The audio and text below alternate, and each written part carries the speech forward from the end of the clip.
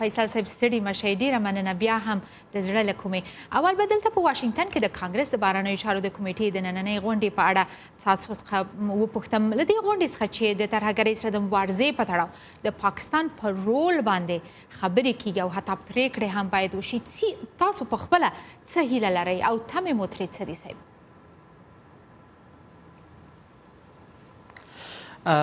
د افغانستان حکومت همیشه په دې تلاش کې و چې د افغانستان نړیوال متحدین د تروریزم په ارتباط باندې د سیمه ییزې همکارۍ د جلب په برخه کې تمرکز زیات کړي د تروریزم پر هغو ابعادو فکر وکړي چې له افغانستانه د باندې دی او هغه مهم ابعاد دی په افغانستان کې تروریزم د پاکستان له خوا تمویلیږي هغه ته پیسې ورکوي او د افغان طالبانو لپاره په پاکستان کې روزنځایونه او روغتونونه موجود دي بناً د افغانستان لپاره دا یو ښه بحث دی چې د افغانستان یو نړیوال متحد یو قوي همکار د پاکستان په ارتباط دا ډول غونډې نیسي او د پاکستان پر رښتینولۍ باندې چې افغانانو همیشه پرې شک درلودلی د افغانستان نړیوال متحدین هم پر هغه باندې شک پیدا کوي او د پاکستان همکارۍ ته د توریزم سره په مبارزه کې د شک په سترګه ګوري دا به مرسته وکړي چې پاکستان بالاخره یو تصمیم ونیسي، داسې تصمیم چې هغه به هم د دوی په ګټه وي او هم به په سیمه کې او په نړۍ کې د امن او د سولې لپاره ګټور ثابت شي. بله ډېره مننه. افغانستان ته دا په خورا لنډې مودې کې د دفاع د وزیر اشټن کارټر دوهم ناڅاپي سفر دی. د افغان مشرانو سره یې د خبرو د اجنډا مهم ټکي که څه هم یو څه واضح کړل خو که تاسو یې پر مهمو ټکیو یو څه په لنډه توګه راوڅرخئ او تشریح یې کړئ. د امریکې دفاع وزیر آشتن کارټر نن له جمهور رئیس محمد اشرف غني، اجرائیه رئیس ډاکټر عبدالله عبدالله او د کابینې له اړوندو وزیر صاحبانو سره ناسته درلودله. په دغه ناسته کې ډیر تمرکز او د خبرو ډیر ډیری برخه د افغانستان او امریکې ترمنځ پر امنیتي او دفاعي همکاریو باندې او ترڅنګ یې په افغانستان کې د امنیتي وضعیت د سمون او د سیمې په کچه د تروریزم د له منځه وړلو پر سر باندې و. افغانستان همیشه ویلي دي چې د دې لپاره چې افغانستان او متحدین یې د تروریزم پر ضد روانه جګړه وګټي اړتیا ده چې د دغه تروریزم نور ابعاد چې له افغانستان د باندې دي هغه وڅېړل شي او د هغو پر ضد جدي مبارزه وشي. دا چې امریکا نن تعهد لري چې د افغانستان دښمنان به د افغانستان د باندې هم د خپلو حملو هدف ګرځوي، دا زموږ لپاره یو ښه بحث دی. تر څنګ یې په نننۍ ناسته کې د افغانستان حکومت بیا هم خپله غوښتنه تکرار کړه چې د دې لپاره چې موږ دغه جنګ وګټو، او دا جنګ افغانان یوازې د دغه جنګ سره د مقابلې جوګه شي، اړتیا ده چې د افغانستان ملي امنیتي او دفاعي ځواکونه تکمیل شي، د هغوی تجهیزات پوره شي او د هغوی اړتیاوې پوره شي، تر څو موږ اوس هم دفاع کوو، د دې لپاره چې دغه دفاع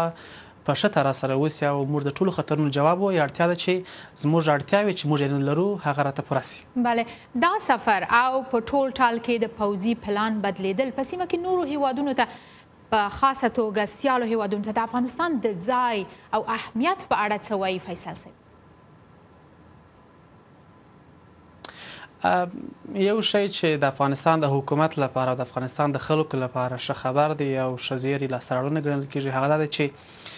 له ښه مرغه د ملي یووالي حکومت په تېرو دوو کالو کې وتوانېدی چې افغانستان د سیمې او نړۍ په کچه په یوه داسې هېواد بدل کړي چې پر هغه باندې حساب وشي د معضلاتو په برخه کې پر هغه حساب اوسي او افغانستان د نړۍ لپاره د یوه بااعتماده پارټنر او ملګري په توګه مطرح شي. افغانستان نن د سیمې په کچه، د نړۍ په کچه په ټولو مسایلو کې اګاه دی او نړۍ دې سیمې ته، افغانستان ته توجه زیاته کړې ده. بناً دا موږ ته دا ښیي چې. هغه داعیه چې موږ همیشه درلودله، هغه داعیه چې موږ همیشه زموږ غربي متحدین مو غوښتل چې له هغې څخه ملاتړ وکړي، نن موږ هغه هدف ته رسیدلي یو، زموږ داعیه، د افغانستان د خلکو داعیه، برحقه داعیه ثابته شوې ده او زموږ همکاران دې نتیجې ته رسیدلي دي چې د افغانستان مشکل یا د تروریزم پر ضد جګړه هغه وخت ګټل کیدای شي چې له افغانستانه د باندې د افغانستان د داعیې ملاتړ وشي او د افغانستان دغه کاست چې لري یې د هغه په حمایت باندې غږ پورته شي دا زموږ لپاره ښه خبر دی او دا د سیمې هیوادونو ته مشخصا هغه هیوادونه چې د تروریزم تمویلونکي او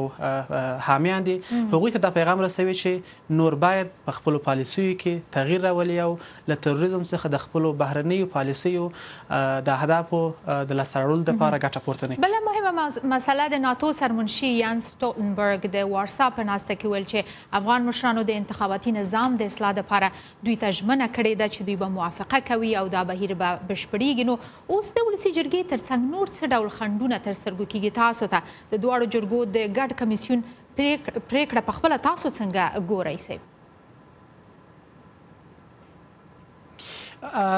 افغان حکومت تر ټولو مخکې، تر ټولو وړاندې د افغانستان د خلکو په وړاندې مسؤلیت لري او د افغانستان له خلکو سره یې ژمنه کړې ده چې د ټاکنو نظام به د اصلاحاتو د جامعې پروسې د یوې برخې په توګه اصلاح کوي او په دې کې به سمونونه رامنځته کوي. بینان دا تعهد یوازې له نړۍ سره او له ناټو سره نه دی، د افغانستان د خلکو سره دی. موږ خپلو تعهداتو ته ژمن یو، د هماغه ژمنو پر اساس مو د انتخاباتو د نظام د اصلاح لپاره لړۍ پیل کړې ده، دا کار له یو ځایه پیل شو، نن تر یو ځایه رسېدلي یو او بالاخره موږ هغه خپلې نهایي نقطې ته رسېږو. اما له بده مرغه چې د افغانستان د ولس استازو یا د ولسي جرګه کې وکیل صاحبانو دوه ځله د جمهور رئیس تقنیني فرمان په دې برخه کې رد کړي، که چیرې لومړی ځل یا دوهم ځل دا فرمان د تایید رایه ترلاسه کړې وای، نن به موږ د انتخاباتو ته ډیر نږدې وای، نن به ټاکنو ته زموږ آماده ګانې تقریبا تکمیلې وای او د نړۍ په سطح به مو هغه تعهدات چې کړي دي هغو ته رسیدګي کړې وای، ولې دا یوه ستونزه وه حکومت د ولسي جرګې استقلالیت ته په ټول احترام سره د دوی دغه پریکړې ته هم احترام کوي نن پس له هغه چې د جمهور رئیس دوهم فرمان د ولسي جرګې له خوا رد سو نن د لومړي ځل لپاره جمهور رئیس اجرایه رئیس له اړوندو اداراتو سره ارګانونو سره بحث پیل کړی چې څه ډول ممکنه ده چې موږ په نږدې راتلونکو ورځو کې د انتخاباتو د نظام د اصلاح لپاره عملي ګامونه پورته کړو او بالاخره د ټاکنو لپاره همغږي ونیسو. کور مو ودان فیصل صاحب ډیره زیاته مننه بیا هم ستاسو د زحمت نه په خپلو چارو کې بریالي اوسئ.